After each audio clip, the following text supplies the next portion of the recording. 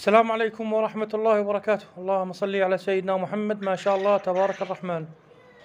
إخواني هاي مزرعة النور عند أخونا أبو عبد الله تفتناز إخواني أكثر من المتابعين المربين المبتدئين صاحبين المطاعم يتواصلون معنا.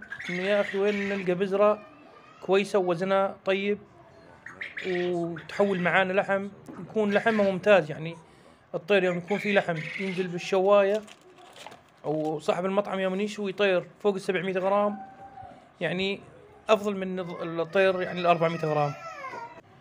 طبعا شباب صارنا فترة ندور بزرة فاليوم الحمد لله الله أكرمنا بمزرعة النور. أخونا أبو عبد الله تفتناز عنده مواصفات ال- اللي مستحقة بالطير كامل وزن ونوعية وب- وبزرة. طبعا الوزن أمامكم أخواني هو يتكلم عن نفسه أنا ما أتكلم عن الوزن. هذا إيش؟ هاي عن الأمايات. الأمايات دائما وزن أخف من الفراخ. طبعا الفرخ بدك بدك تسمنه صاحب مطعم تسمن مشان المطعم بدك تظل تعرفه أكثر من 40 يوم علف تسمين.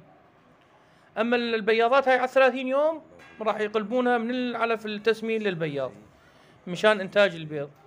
أما اللي آخذ آه، بزرة آخذ فراخ مشان يسمنهن مشان المطعم راح يظل يطعمهن يقدمهن العلف التسمين لحين الذبح إلا يحين وقت ذبحه.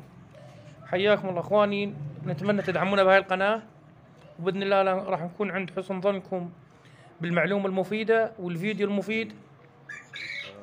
وإن شاء الله بإذن الله نلبي أي طلب من شبابنا أي شيء ينطلب منا إحنا بإذن الله بخدمتكم.